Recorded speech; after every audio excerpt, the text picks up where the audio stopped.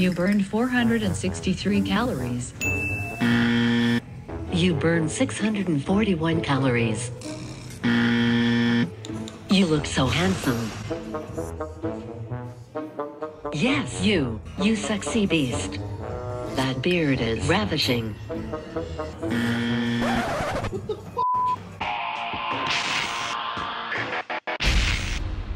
So I got some bad news for you. This machine right here is lying to you. But it's not just this one. So is this one, and this one, and even this one. You see guys, if you're using a treadmill or any cardio machine right now to determine the amount of calories you're burning to help you in your goal to lose more weight, you're not getting the right math. You're being lied to. The number of calories that you're burning are just not accurate. Today I'm gonna to show you not only the worst of the worst, but also I'm gonna tell you the machines that are maybe better worth your time than others. It's time for the truth. But the first truth that needs to be told is if you're using your cardio as a way to create your caloric deficit to lose weight, you're making a big mistake because you're never going to be able to outrun a bad diet. We talk about it all the time. Even just one slip up in a meal is enough to erase an hour's worth of effort at the gym. You need to make sure that when you're trying to lose weight, your efforts are focused first and foremost on cleaning up the foods that you're eating right now.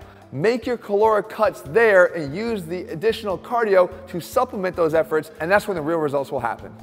So the first thing you have to be on the lookout for is how these things are actually asking you for the information. Because if they're not asking you for your weight directly, then they're not giving you an accurate result. Because we know that cardio machines need to know how much you weigh. A heavier person has to work harder to move their body through space and therefore can burn more calories, whereas somebody that's lighter is going to burn less calories for the same activity. Well, what happens with these cardio machines is they calculate that calorie burn based off of something called a MET, M-E-T, which is a metabolic equivalent. And essentially, one MET is the value of you sitting on the couch doing nothing, the calories that you would burn by literally just sitting down watching TV. And anything you did that increased your activity beyond that is going to be some multiple of that number. So if you went for a jog, you could have, let's say, a three or four MET burn, which is three or four times harder than sitting on your ass. That being said, it's always calculated by one body weight number, usually 154 pounds. So if you don't weigh 154 pounds, you're not getting an accurate calorie output read back to you. If you weigh less than that, then you're actually overestimating how many calories you burn. And if you weigh more than that, you're actually maybe underestimating by a little bit. But don't worry, there's a lot of other ways that these machines are screwing you. I'm gonna show you those too. Wait, isn't this your towel? Oh, that's disgusting. And one of them is by actually maybe fudging the math intentionally. You see, a lot of times the number that you read in terms of the caloric burn is based on including something called the REE, or the resting energy expenditure, the calories that you would burn normally at rest. So let's say you're on the treadmill and it tells you that you burned 420 calories. Well, what if it's also including the fact that you would have burned 100 calories if you did nothing at all? Well, that's just inflating the overall number. You only burned 320 extra calories. You're already likely using that number in your base calculation to determine how many calories you need to burn during the day. It's just not fair. So you might be asking yourself, why would they do such a thing? Well, maybe to make you think this machine is amazing and I would love to do all my workouts on this machine. And as a matter of fact, I might want to buy one of these and put it in my house because it makes me feel good about the number of calories I'm burning. Just throwing it out there. But let's not just blame the machines entirely because if you're doing what I'm doing right now, you're screwing yourself. If you've ever ridden a bike leaning this way, your posture is creating less caloric burn. How?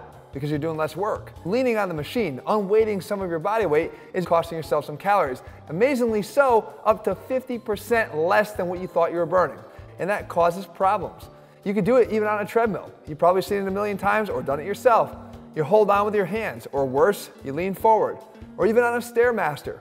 Any attempt at all to try to unweight any of your body weight is a good indication that you're actually looking for a way out. If you're gonna do your cardio, make sure you stand up straight and do so with good posture. You're gonna get a lot closer to the number that you actually thought you were burning in terms of calories. Can I ask you a question? If you're gonna do a bicep curl, do you think you get better results doing this or actually taking it through a full range of motion all the way down and all the way up? Well, it should come as no surprise, the full range of motion is better. But then why are you doing this when you're doing cardio? You're cutting your range of motion short often. For instance, if you use a Stairmaster, or in this case a step mill, a lot of us take the option of taking short, choppy steps. We don't drive the step all the way down through full hip extension. What that means is less work being done. And for you, less work means less calories, and less calories means less weight loss. And look at even your choices like the elliptical machine. It's locking you into an abbreviated range of motion. You can't extend your leg further back even if you wanted to. And then even this, I'm sure you've seen people who stand up while they're pedaling on a bike.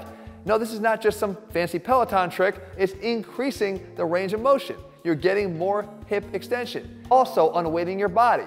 Remember, the more of your body weight that you're bearing during the exercise you're doing, the more calories you're burning, and therefore getting better bang for your buck. So remember, if it feels easier, it is easier. Instead, look to make it harder, increase that range of motion, and with that increased range of motion and work done, you're gonna find better overall success from your time spent in the gym. All right, so if all these cardio machines are lying to you, are there at least some that are lying to you less? And the answer is yes. And it starts with the stationary bike. It's the most accurate, overestimating by only about 7%. And the reason for this is oftentimes the way that we calculate the calories burned here is through mathematical formulations and based off of power output. In other words, watts. And when we do that and we combine it with our body weight, which most of these machines will ask for, we get a much more accurate judgment. However, next up on the list is going to be the Stairmaster. Here, we're looking at about a 12% overestimation on the number of calories that you burned. But you gotta make sure, once again, that you're not leaning on that machine, like I said, and that you're taking those nice, long, full range of motion steps. Next one up down the list in terms of accuracy is gonna be the treadmill, which really isn't such good news because so many people use this machine. And the problem here is twofold. Number one, the accuracy is now off by 13 to up to 20%. And even if you do what I told you and keep your hands off the handrails, sometimes you're still fighting a losing battle here because the calibration of the machine is a requirement to maintain its accuracy. And most gyms just don't calibrate the machines often enough, so that's something you can't even do anything about. And then finally, the most inaccurate of them all is the elliptical machine, sometimes off by as much as 42%, mostly due to the fact that the range of motion varies greatly between even different models. Now to put this all into real world perspective, imagine this. If you spent 30 minutes on an elliptical machine, you might be overestimating the number of calories burned by 130. Now think about that. If you're trying to create your overall deficit for the day and you think you burned 130 calories more than you did, therefore you can eat more food, you're kind of setting yourself up for disaster. Extrapolate this out for the entire year. If you were to take 130 calories in extra over your baseline rate every single day, that's a 14 pound weight gain by the end of the year. Let's face it, we need to figure this out. Or do we really? Because there's a few things you can do right now that are actually going to just nullify the inaccuracy of these machines and still help you to get back on track in terms of your weight loss. And the first thing is just to choose a different machine because there's some that are just way better at burning a lot more calories. So even if they're off, you're still be burning a lot more than you are right now. And the main key here is to integrate one that has working arm movement. Not just going along for the ride like on the elliptical, but actually working and working hard. And one of the easiest ways to do this is with an air bike. You could burn about 20 to 25 calories for every single minute that you're on this. The other option is to use a rowing machine. Again, resisted upper body movement as well as lower body movement here Obviously, when you use these guys, you know how much more difficult they are. The difficulty is going to be a dead giveaway in terms of the effectiveness of the exercise. Then finally, you could use something like this ski ergometer or the ski ERG. The point is you have alternatives to the standard cardio options that are ultimately going to do a better job of helping you burn calories. Yeah, I know, they're not the most pleasant, but at the end of the day, what matters is the work that you do, and the more work you do, the more calories you burn, and ultimately, the more weight you'll lose. So you gotta consider it. But even if you decide that you just want to stick to the machine you're using right now, but want to find ways to make it more accurate, what can you do? Well, the first thing, as I mentioned, is to try to find one that at least allows you to input your body weight. Because when you do, you're going to have an infinitely closer accuracy when it comes to the number of calories burned. But the other thing I like to just recommend is throw a towel over it and stop looking at the calories. Instead, go off of your respiratory rate. The more difficult it is for you to carry on a conversation during exercise, the more indicative it is of the amount of effort you're putting forth. So aim for more breathlessness. In other words, whatever cardio machine you're using right now, if you're more breathless the next time you use it, you're likely working harder and therefore increasing your calorie burn. Or make it easy for yourself and do what I advise my athletes to do. Simply take the output that the machine gives you and divide it in half and use that to calculate your intake amounts for the day.